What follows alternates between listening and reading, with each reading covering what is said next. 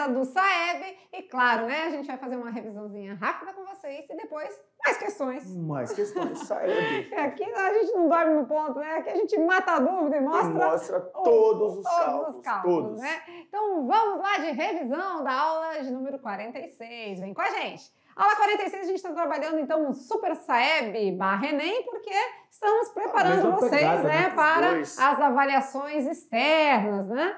E quando fala de geometria plana, tem o imbatível trio, né? Quem é o trio imbatível? Todo Uai, mundo- nós, te- nós temos o quadrado. Por que trio imbatível? Porque é um trio formado por polígonos regulares.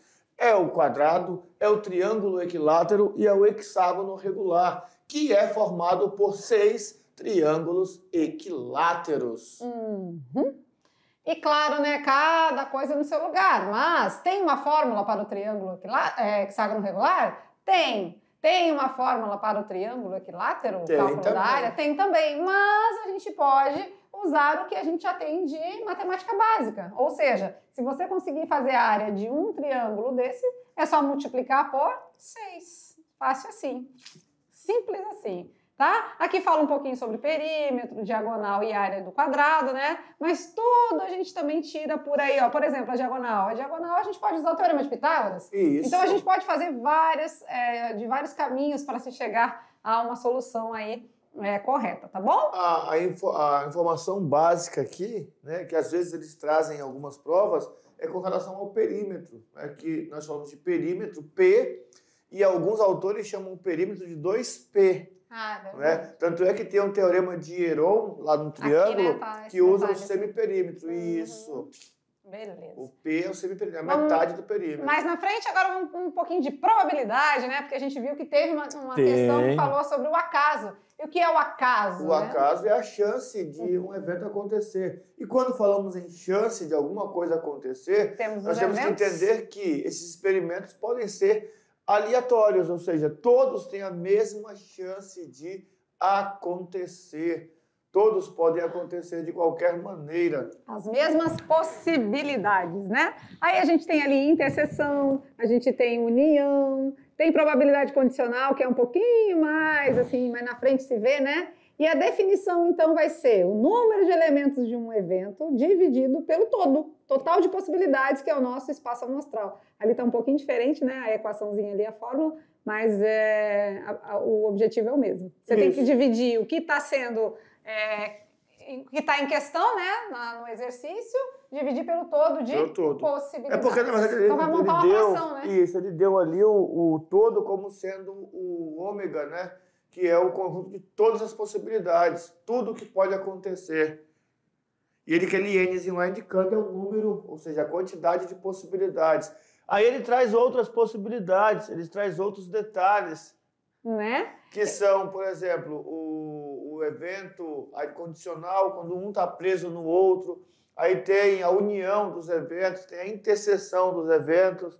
Tudo isso são detalhezinhos que, na prática, é só você entender o que vai acontecer e o que, É. que eu quero que aconteça. E o importante também é quando a gente fala de probabilidade, a gente pensar que ela pode ser em, em fração, ela pode ser em decimal Isso. e ela pode ser em, em- na- no tipo normal, né, da porcentagem mesmo ali, Porcentagem, né? esse é Isso, o detalhe. tradicional. Que é a matemática básica, né? Porcentagem Uhum. simbólica, fração ou, Ou decimal. decimal. Então, qualquer desses, desses três, dessas três maneiras podem aparecer, inclusive nas alternativas, né?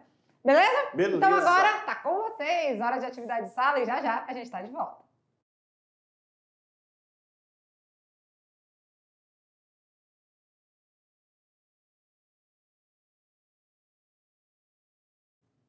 Bora resolver essa parada rápido, né? Menina, o negócio passou ligeiro, não deu tempo nem do café, eu acho. Acabou o café? Acabou o café? Não, a gente tem que... Entendeu? Diretor, cafezinho, diretor. Por favor. Então, passou ligeiro, vamos lá, atividade de sala, tirando as dúvidas, fazer mais questões do Saeb. Bora junto, vamos lá.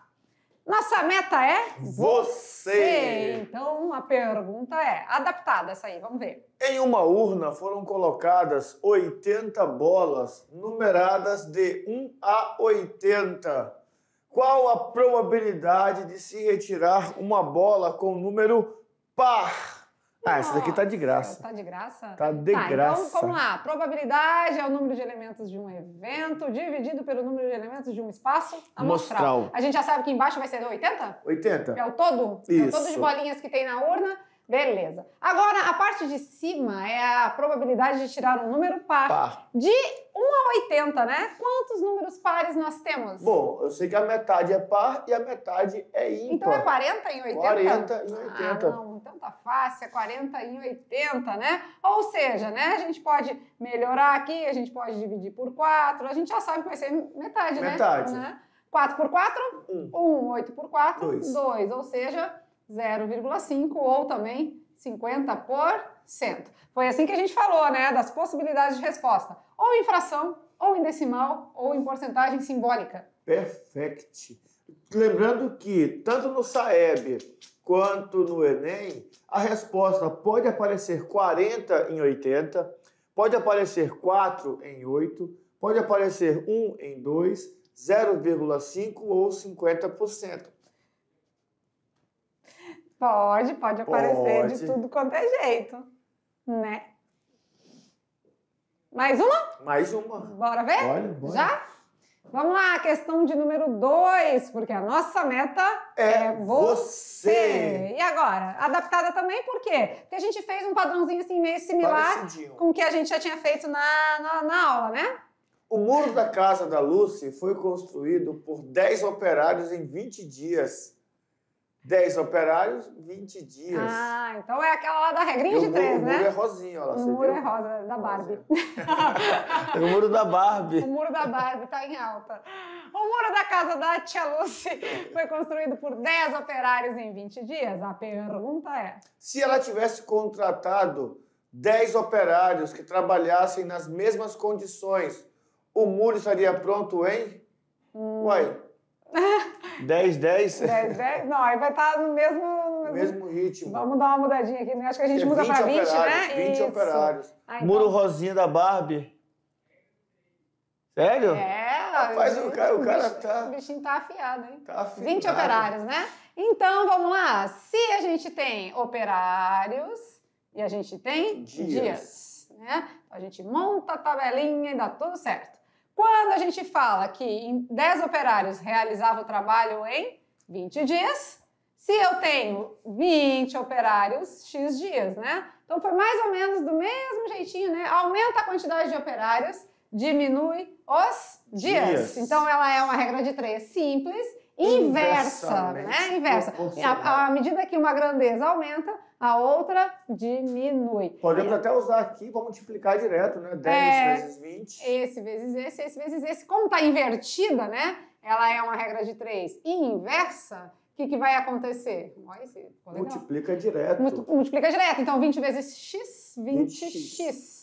10 vezes 20, 200. 200. Tá multiplicando, passa dividindo. 200 dividido por 20 vai dar 10. 10 dias. Né? E aqui estava claro, né? Porque se dobrou o número de operários, vai reduzir pela metade o número de dias. Beleza. Muito fácil, muito simples. Boa, boa, boa. Certo? Certo. Beleza. Prontinho? Pronto. Mais uma? Mais uma. Bora vamos. ver? Vamos lá? Nossa meta é, você. Então vamos lá. A pergunta agora é de número 3. 15 operários constroem uma casa em 45 dias. Para construir uma casa semelhante, no mesmo ritmo de trabalho, só que agora em 15 dias, serão necessários quantos operários? No mesmo Hum. ritmo. Então, a mesma pegada, né? De regra de três. Regra Operários de três. e dias. Bora ver? Só que agora a pergunta é: eu tenho 15 operários e realizam essa obra em 45, 45 dias. dias. Eu quero agora que os dias se reduzam, né? Para 15. 15 dias. Quantos operários vão precisar trabalhar nas mesmas condições, rendendo o serviço Ei, para. É igual aquela outra? É igual, porque, professor Ah. Maurício, se eu tive aqui três vezes menos em dias, né? Porque Então 15 vai- mais 15, 30, mais 15, 45. Então aqui dividiu por, Por três. 3. Então, para lá, o que, que vai acontecer? Tem que multiplicar por 3. Então, do mesmo jeito, esse x aqui vai valer 45. Vamos precisar de 45 é, operários para realizar esse trabalho em 15 dias. Mas como aqui a gente mata a dúvida, a dúvida. E mostra o cálculo, vamos então lá, né? vamos Esse com esse, esse com esse, inversa, né? dúvida. 15 Isso. vezes x? 15x. 15x. 45 vezes 15. 45 vezes 15, 450 mais a metade de 450, Uhum. Metade de 450, 675. 675. Tá multiplicando, passa dividindo. Dividindo. 675 dividido por 15, o meu x vai valer 45. 45. Uhum. Agora sim pode. E aí, aquele detalhe: se cair uma questão dessa, vocês não podem errar. Tem que acertar mesmo.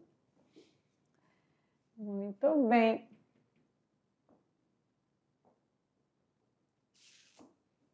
Certo? Certinho. Mais uma? Mais uma. Nossa meta é você. Nossa meta Então- é você. Mais uma para a gente finalizar as atividades de sala e depois ainda dar a resposta daquele negócio dos triângulos lá, né? Que- Isso. Aquele valor desconhecido. Bora ver. Um cubo de aresta 3 centímetros tem volume igual a 27 centímetros cúbicos. Ah, é verdade? 3 vezes 3 vezes Vezes 3, três, 27. Se dobrarmos o comprimento da aresta, o que vai acontecer com o volume do cubo? Hum, Se vamos... dobrarmos o comprimento da aresta, o que vai acontecer com o seu volume? Bora ver. A gente tem 3 por 3 por 3, né? Isso. Então nós temos um volume atual de 3 vezes 3 vezes 3. Temos um volume de 27. Isso ele nos informou. Já nos tá lá. dizia aqui, né? Beleza. É- Agora. É, é meio que uma forma de garantir para o aluno que ele lembra que a fórmula é 3 ao cubo, né? Uhum. Agora eu quero dobrar o comprimento da aresta, né? Então eu Isso. vou ter um novo cubo agora, só que com medidas do dobro. Então 6 por 6 por 6? Isso. 6, 6, 6. Então meu novo, no- novo volume é a aresta ao cubo, né? Isso. Aresta ao cubo, ou seja, o volume é 6 ao cubo, ou 6 vezes 6 vezes 6. 6 vezes 6? 36 16. vezes 6. 216. Aí a pergunta é, né? O que vai acontecer com o seu volume? Ixi, e agora? Agora eu preciso saber quantas vezes o 27 cabe dentro do 216? É só dividir, então? Isso, só dividir. Então a gente vai. 216 dividido por 27. Uhum, 216 dividido por 27 vai Bom, dar. eu sei de uma coisa. Na tabuada do 27, para terminar em 6, só tem 7 vezes 8, que dá 56. Hum, Porque 7 vezes 7 é 49, 7 vezes 8 é 56. uhum. Então, 27 vezes 8 dá quanto? Vamos ver aqui. 27 vezes 8, 216, certinho. Então, o que, que vai acontecer com o volume? Vai ficar 8, Oito vezes, maior. maior. Muito bom. Já? Já. Pois é, pois é, pois é. Poderíamos até usar a, a lógica, né? Porque, olha só, 6 é 2 vezes 3, certo? Uhum. Então ia ficar entre parênteses 2 vezes 3 ao cubo. Daí ia ficar 2 ao cubo vezes 3 ao cubo. 3 ao cubo é 27 e 2 ao cubo é 8. Vai ficar 8 vezes 27. Ou seja, 8 vezes maior. O maior o menor. que- Aham. Olha, É a legal, assim. Porque não precisa fazer divisão, né? Para quem não gosta de dividir, é um pulo para a resposta. É, são estratégias né, que a gente vai adquirindo ao passar do tempo que a gente vai fazendo, né? Então, Será quanto que- mais a gente desenvolve, melhor. Isso, eles entenderam o processo, o segundo processo, o que faz pela lógica? Ao invés de colocar aqui, ó, 6 ao cubo, coloca entre parênteses Dois 2 vezes vezes 3 três. ao cubo. Que pela propriedade das potências é o mesmo que dois 2 ao cubo vezes vezes 3 três ao cubo. O 2 ao cubo, o 3 ao cubo a gente já sabe. Já sabe, tá aqui, ó, 27. 27. E o 2 ao cubo? Oito. 8. Então vai ser 8 vezes 27. 8, 8 vezes maior. 8 vezes maior que o Então 27. são 8 cubos de 27 para poder É. montar um. E parece que não, né? Porque a gente pensa, ah, mas dobrou, se dobrou a aresta, a gente pensa que vai, do- dobrar. o volume, É. né? Ou pelo menos quatro vezes, né? Nem dobra e nem quatro vezes fica. E sim, oito vezes mais, né? E, e aí eu lembro de uma questão do A Enem. gente tá falando de volume agora, não Isso, é de volume. área de superfície. Né? Uma questão do Enem que ele botou os blocos e queria saber a peça que encaixava ali. É mais ou menos isso que a gente faz, porque quando eu dobro a aresta, eu aumento duas para a direita, duas para trás e duas para cima. Então, quer dizer, o espaço que surge ali é muito maior do que o Uhum. espaço que eu tinha antes. É isso O mesmo. espaço vai ser preenchido. Porque fica aqui, aqui e aqui, né? Isso, quer dizer, para trás vai ficar só um pedacinho lá da frente, e atrás fica bem maior. Você consegue enxergar muito bem isso, você que gosta de jogar, quando você está brincando com o Minecraft. Né? Ah, você sim, coloca um cubo aqui, fica né? vários espaços para ser preenchido. Então, Uhum. é isso que o Enem está fazendo. Legal. Dá pra você rascunhar, fazer um desenho e ver se ver como que fica, né? Um esboço. Beleza? Beleza? Vamos de brincando com os números? De brincando com os números, tinha uma perguntinha lá, uma Ah, interrogação. tem um um número desconhecido, Será que eu vou né? ficar aqui mesmo com eles, É, poder bora mostrar aqui, aqui. gostei. Olha aí, ó. Que número está faltando? Qual o número está faltando? E Quando agora? eu tinha 3, 5 e 9, dava Deu 32. O que, que aconteceu aqui? Para aparecer. Eu, porque eu penso assim, ó, 32 é o maior. Quando eu vejo essas brincadeiras assim, eu já vou assim, ó, esse é o número maior. Então, aconteceu alguma coisa com os números da ponta para chegar ali.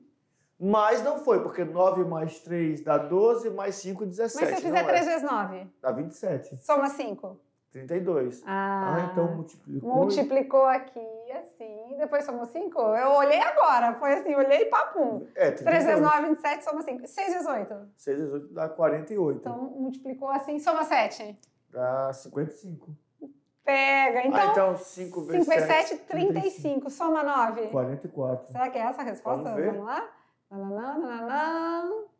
Ali é o 3 vezes 9, 27 mais 5, 32, certo? Depois, 6 vezes 8, 48 sete. mais 7, 55. Beleza. Então, de fato, aqui provavelmente é o 5 Quarenta. vezes 7, 35, mais 9, Quarenta. 44. E você também conseguiu O enxergar? nosso, nosso amigo do TI tinha falado 44? 42. Ah, 42, é. Não sei qual foi a, a Que que linha ele de pensou? raciocínio, o que, Ah, que ele Deixa eu pensou. ver. 7 mais 9 dá Cinco vezes 16, com 5 dá 80, não dá 42. É, Mas ele pode gente- ter lá em cima, né? Mais que do 32 aumentou. Não, não sei o que ele pensou. Não sabe, nem eu. Eu sei que a resposta é 44. 44. Muito bem. Claro que esse aqui é um desafio, né? De observação, né? Raciocínio lógico, interpretação. Então, tem uns que são mais assim, a gente tem que ficar mais, mais mais né? ligados aí para conseguir a resposta. Certinho? Certo. Ficamos por aqui, mais uma aula top do Saeb, preparando você para as avaliações externas, né, dos sistemas aí que a gente tem lá fora. E, inclusive, esse, o Saeb, é uma avaliação diagnóstica para saber como é o tal rendimento, mas já o Enem é o... É a é- porta de acesso. é a porta de né? acesso para as universidades, né? Então, de toda forma, a gente prepara vocês para é- A, para B, para C, para todas as Agora tu, situações. pe- tu pensa comigo. Eu sou de uma instituição particular. E aí eu, eu, eu sou o responsável por selecionar os alunos. Uhum. Aí eu vejo lá o aluno que tirou 800 no Enem. Só que ele tirou 4.5 no Saeb. Eu falo, hum, eu vou chamar esse aqui, que fez 800 no Enem também, só que ele fez 6.8 no Saeb, porque ele está melhorzinho em rendimento com relação a matemática e português, que senão a gente vai sofrer muito na instituição. né? Então, quer dizer, pode ser também feita essa análise. É utilizado para isso, tá? É uma avaliação diagnóstica. Ela É, vai dar um verdade. diagnóstico de como você está E saindo. poder- po- podendo sim esse resultado ser certeza. usado de alguma forma para selecionar você em algum processo, né? Beleza. Beleza, ficamos por aqui. Na próxima aula tem mais assunto, né? Aí já vem uma pegada revisional também do, do segundo ano, do, do primeiro, do segundo, enfim, que vocês precisam estar aptos, habilitados aí para é, ter sucesso aí nas, nas situações que vocês vão encontrar pela frente, tá bom? Então, Beleza. aquele jeitinho, beijo no coração, até a próxima aula, tchau, tchau.